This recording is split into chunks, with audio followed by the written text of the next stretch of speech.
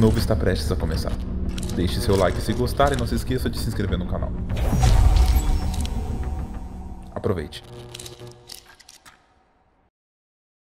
Seja bem-vindo a mais um vídeo de Pokémon GO, senhoras e senhores. Está chovendo lá fora?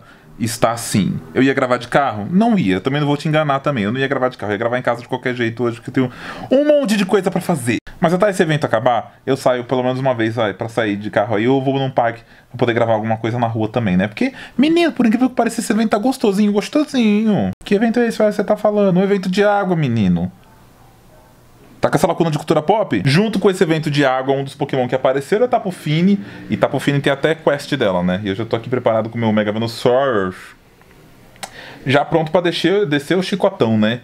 Já no batidão da planta, pra ver o que acontece. Se bem que aqui, Venusaur é metade planta, metade venenoso, posso ir pra qualquer ataque, né? Eu não sei necessariamente qual ataque vai tirar mais dano dela. Mas de qualquer maneira, qualquer um vai tirar, então, né? E os dois levam a mesma energia pra carregar. Então a gente vai usando do jeito que dá. E aí, guys, eu vou aproveitar essa raid de Tapo Fini para esclarecer uma coisa que eu, eu recebi uns comentários falando assim, Wesley, você tá enganado, ela não é tão boa assim, ela é uma das piores, você falou que é uma das melhores. Então, ela é boa no PVP, em alguns matches. Eu, é o que eu disse quando eu fiz o vídeo. É alguns São alguns matches, não são tipo é, todos, ela não é imprescindível. É, o lugar no metagame dela não é tipo, ah meu Deus, eu tenho que ter, que se eu não tiver, eu tô. Entendeu? Eu tô, vou passar mal. Não, não é assim. Alguns matches dela são bem interessantes. Na Ultra, que eu acho que é onde ela é mais importante, e na Mestre tem alguns matches que ela consegue vencer que são interessantes contra o metagame. Então, a Vital, Kyogre, então são pokémons que aparecem com uma certa frequência em que ela ganha. Então é mais baseado nisso, entendeu? São matches, é um pokémon situacional, funciona mais em determinadas situações. Como ela não tem Shine aqui, não tem muito o que fazer, né? É só dar aquela checada só pra ver o design do Pokémon, porque no meu canal não mostrei ela ainda. Bonita, entendeu? Cabelo hum, azul da cor do mar, uma coisa meio gótica trevosa. É isso, né? Parece uma blogueira. Mas, senhoras e senhores, encostei o nariz sem querer na, na lente da câmera, dei uma sujada. É isso que dá, né? Tem uma pele oleosa. Mas, senhoras e senhores, como eu ia dizendo, entendeu? A, a menina dos olhos desse evento é quem? É Lapras. E aí, como tem 9 pessoas. 15, meu Deus do céu, tem 15 pessoas nessa raid. Como tem 15 pessoas nessa raid que eu fui convidado, é... aí eu coloquei o Raichu de Alolo só pra dar uma brincada, né, menino? Porque eu não uso pra nada o mito, né?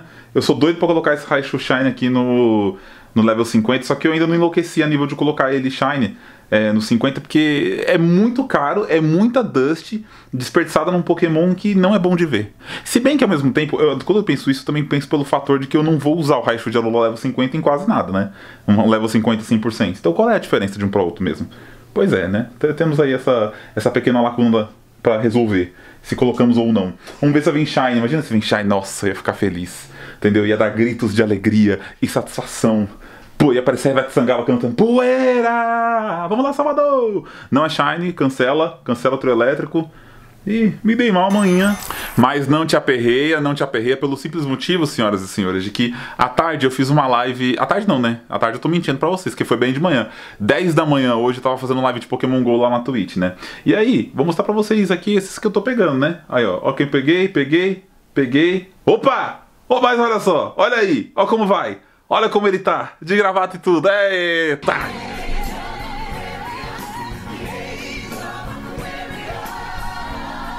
Que demais!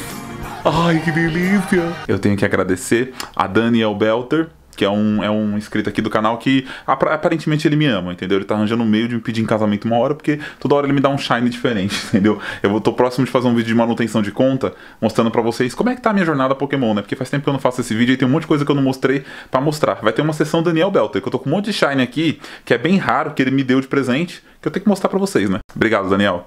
Eu fiz uma porrada de raid, algumas com pepino também, ó, e veio esse 9,6, o que pra mim tá bom. Não que eu vá estar tá lá, né, mas tem esse cachecol, ele ficou bonito com esse cachecol. Olha, durante essa live eu fui uma das pessoas que olhou e disse assim: Meu Deus do céu, eu tô com muito medo. Eu tô com muito medo mesmo de pegar uma Magikarp Shine. Aí você fala: Por que, Wesley? Tá com medo de Shine? Que palhaçada é essa?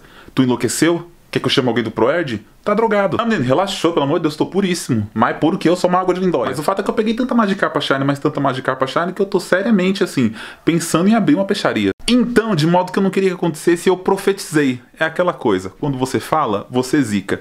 E aconteceu exatamente isso aqui que você tá vendo aí do lado, né, menino? Né, menina? Dragão doente. É, não sei a espécie de quem tá assistindo. Aí, basicamente, É isso que tá acontecendo, entendeu? Peguei a Magikarp Shine de novo. Queria? Não. Vou chorar no banho? Sim. Mas não pela Magikarp Shine, por outros motivos. Minha fatura do cartão porque veio tão alta. Eu nem gastei tanto assim.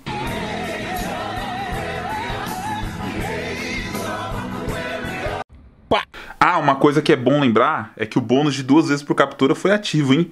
E esse bônus é bem interessante para vários Pokémon, não necessariamente só desse evento, né? Você pode pensar na própria Tapu você pode pensar no Lapras, que são Pokémons que são mais difíceis aí de capturar e mais difíceis de fazer candy. Mas é interessante também para Meltan. Tem muita gente que tá iniciando no jogo há pouquíssimo tempo e ainda não tem, sei lá, candy suficiente para poder fazer Meltan. Lembrando que o Meltan é um mítico, é um Pokémon é, metagame, principalmente em PVP, nas três ligas ele tem algum uso. Então eu acho que talvez você possa ter algum interesse em abrir uma caixa de Melton. Se você quiser fazer isso, a hora é essa, viu? Abrir uma caixa de Melton. Lembrando também, senhoras e senhores, do Delpider também, que é um Pokémon bem metagame na Great League e bem difícil, bem chato de se tá, tá bem chato de se achar, entendeu? Não tá tão fácil assim quanto parece. Então chegou o momento de você fazer Candy. Ah, lembrando que existe um spawn raro, mas existe nesse evento, não, é não bem desse evento, né? Mas eu achei dois, por exemplo, hoje já, que é Corfish. E o Corfish Shine, que é um, é um Pokémon que vai ser liberado no Safari Zone de Servilha,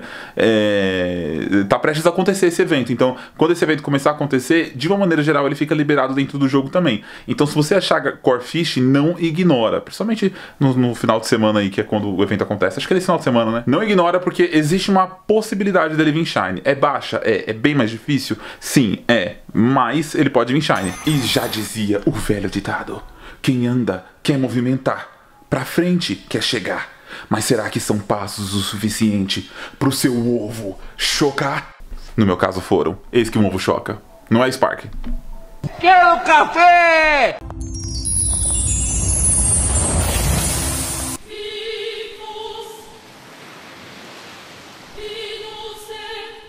Três ovos, senhoras e senhores, um ovo de 7, um ovo de 10 e um ovo de 12. Ovos bem coloridos. É. Ah, o ovo de 12 vai começar. Olha lá o Lavitar vindo, me dando doce GG.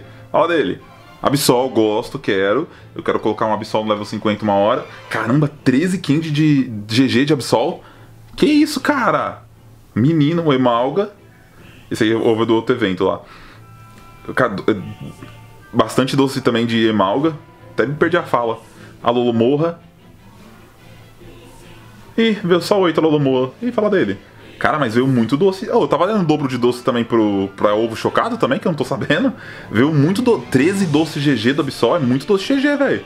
Caramba, se tivesse vindo o Larvitar, eu tinha estourado no norte. O Zivé é pod, pod, é tudo ruim. Credo. Mas é isso, né, senhoras e senhores? Por uma sexta-feira à noite, tá mais do que excelente, né? Acha eu afastando da luz, virando fantasma da ópera aos poucos. Mas conta como é que tá sendo o evento de água para você. Tá sendo legal? Tá sendo ruim? Tá sendo bacana? Tá sendo, meu Deus do céu, vou instalar esse jogo que pra mim já deu. Conta pra mim nos comentários. A gente se vê no próximo vídeo. Um grande abraço para todo mundo. Boa sexta-feira. Use sua sexta-feira com responsabilidade, entendeu? Não vai se jogar no primeiro penhasco que você vê na sua frente. Vai com calma aí. Esses quatro vídeos que estão aparecendo na tela servem para vocês maratonarem o canal. Minhas redes sociais estão na descrição, principalmente o Twitter e o Instagram, que é onde eu mais interajo com vocês. E até a próxima. Um beijo para todo mundo. Tchau. Valeu.